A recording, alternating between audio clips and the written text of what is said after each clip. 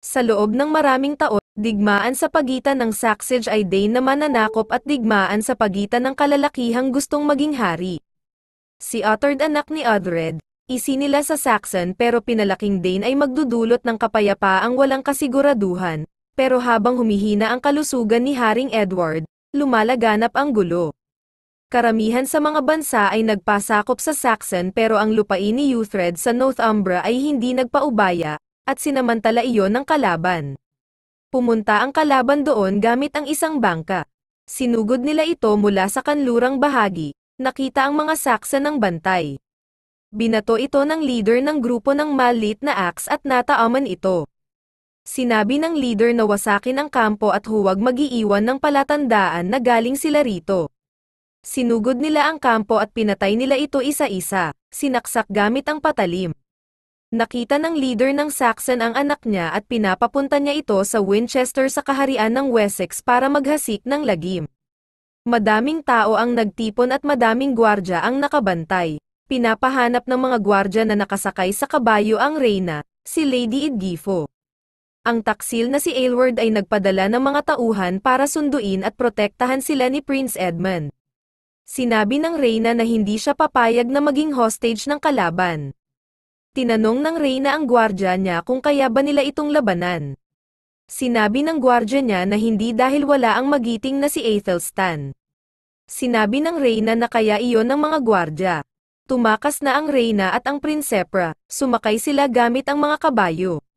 Isang kasiyahan ang nagaganap at dumating ang reyna doon, nagbigay galang sila. Tinanong sila kung bakit sila napadpad sa norte, sinabi ng reyna na makikituloy lamang sila ng anak niya. Sinabi niya din na si King Edward ang naghahari sa lupaing ito ay namatay na. Laking gulat ng mga tao doon nang malaman nila. Ikinalulungkot naman nilang marinig iyon.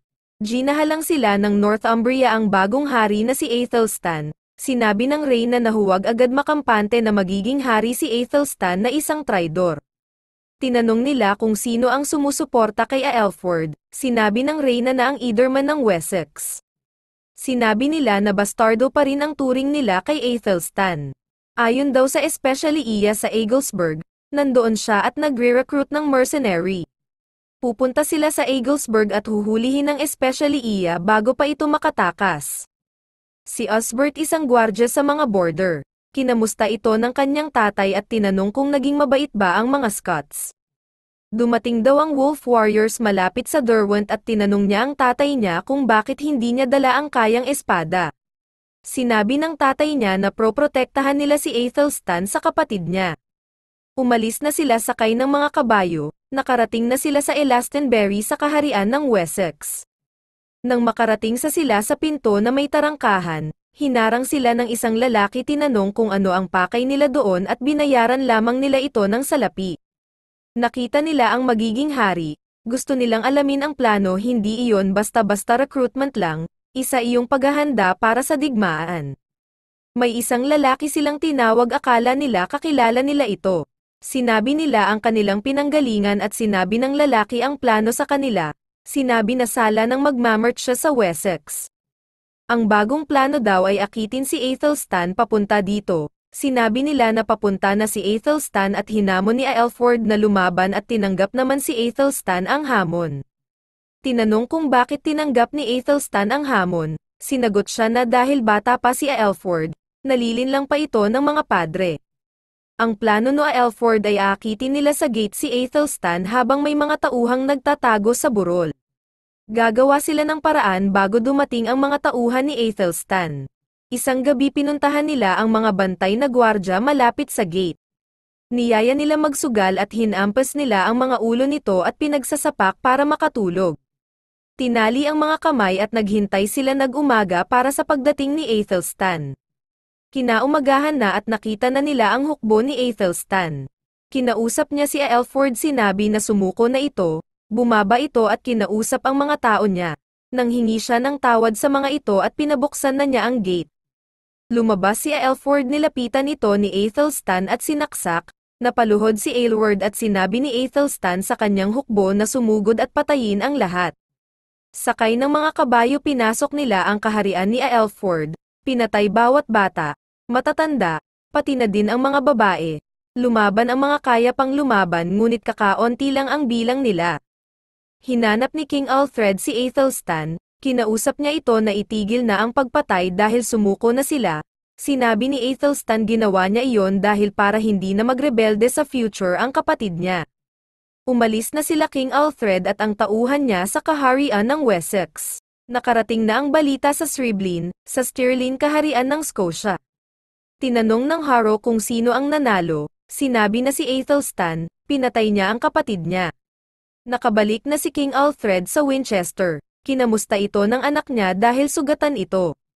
Binalita nila na hindi nakasurvive si Aylward, naubos ang mga tauhan nito at nasasakupan.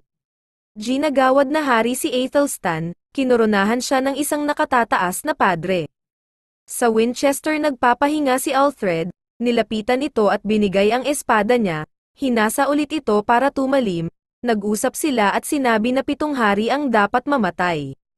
Binaliwala lamang ito ng kausap ni Alfred. Nagkaroon ng isang celebration, nilapitan ng reyna si Alfred tinanong kung ano ang pinagse-celebrate nila, sinabi ni Uthred na isang pagsasanay ng mga kabayo, magkasama silang nanood. Nagpasalamat ang reyna kay Osbert dahil may malasakit siya kay Edmund, Sinabi ni Alfred na bahagi na siya ngayon ng Bebenberg pareho sila.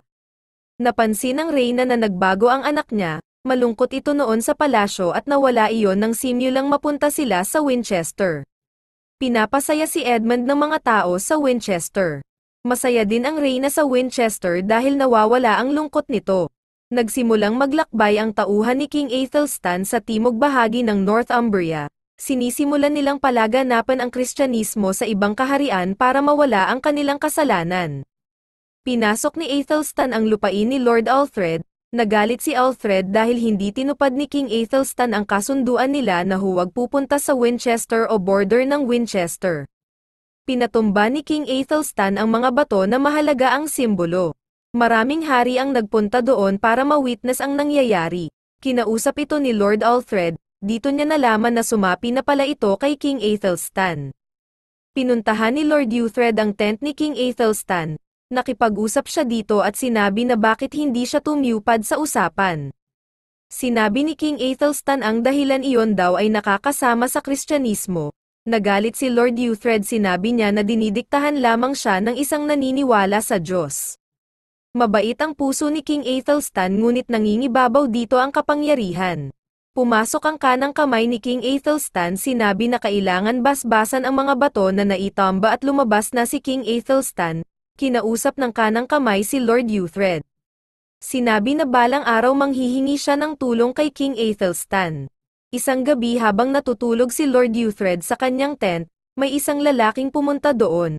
Nagulat si Lord Uthred at binunot niya ang kanyang espada ngunit namukan niya ito at sinabi na idineklara na kaaway si Lord Uthred, ipapapatay siya sa mga kasamahan at tauhan nito.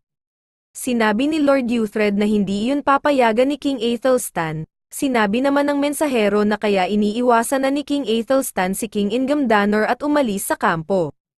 Tinanong ni Lord Uthred kung saan ito nagpunta, ginabayan naman niya ito at sumakay sila ng kabayo, nakita sila ng isang babae. Kinaumagahan pinuntahan ang mensahero ng mga gwardya, Kasama nila ang babaeng nakakita sa kanila ng gabing iyon, at tinanong kung anong napag-usapan nila ni Lord Uthred. Pinapunta ni Lord Uthred ang mga tauhan niya para sunduin si King Ingamdanor. Dinala nila ito sa Winchester, alam ni Lord Uthred na traidor si King Ingamdanor, kaya dinakip nila ito at kinulong sa selda. Nalaman ito ng kanang kamay ni King Athelstan, naghanda ito ng tauhan at dinakit si Lord Uthred at ang mga tauhan nito. Pinusisan ito at dinala sa harap ni King Athelstan. Humugat si King Athelstan ng espada at pinaluhod si Lord Uthred. Tinutukan ni King Athelstan si Lord Uthred ng espada sa leeg ngunit hindi ito kaya patayin ni King Athelstan. Kinuha na lamang ang mga gamit nito at tinanggal ang posas, at pinagbawalan na tumapak muli sa lupain ni King Athelstan. Pinaalis na ito ni King Athelstan. Umalis si Lord Uthred. Naglakad siya papalayo. Sinunog ng mga tauhan ni King Athelstan ang kaharian ni Lord Uthred. Naglakad sa kagubatan si Lord Uthred hanggang sa abutan siya ng gabi at sa paglalim ng gabi, pagino na ng pagino ang temperatura sa kagubatan, nawala ng malay si Lord Uthred. Kinaumagahan nakita si Lord Uthred ng ibang mga lahi, giniaisang si Lord Uthred at dinala sa Shetlands Isle. Hinarap siya sa hari ng isle na ito. Binigyan ito ng masusuot at pinaupo malapit sa hari. Nag-usap sila doon. Sinabi ni Lord Uthred na pitong hari ang dapat mamatay at pinatunayan naman iyon ng isang priest ng hari. Sinabing totoo iyon at pitong batang hari din ang papalit. Sinabi ng hari ng isle na may dapat gawin o isang alternatibong paraan para madami ang mailigtas sa gyera. Isang tao lamang ang dapat mamatay. Sinabi ng general na mahirap iyon pitong hari laban sa isa. Pinabalik ng hari ng Isle si Lord Uthred dahil gusto ng hari na patayin si King Aethelstan. Naglakbay pabalik si Lord Uthred gamit ang kabayo, nakarating agad ito sa Winchester sa Kingdom ng Wessex kung saan naroroon si King Aethelstan. Hinarap ito ng mga alipin ni King Aethelstan, pinaluhod ito ng hari. Nagbago ang isip ng hari, hindi na pinagbabawalan ni King Aethelstan si Lord Uthred na tumapak sa lupain niya. Hiningi ang espada ng kawal ni King Aethelstan at pinaalis ang mga ito. Sinabi ni Lord Uthred na traidor si Kim Ingham Danor, nilason lamang nito ang utak ni King Aethelstan. Nagalit si King Aethelstan at sinuntok si Lord Uthred, lumaban si Lord Uthred at sinakal niya si King Aethelstan, hanggang sa umalis si Lord Uthred.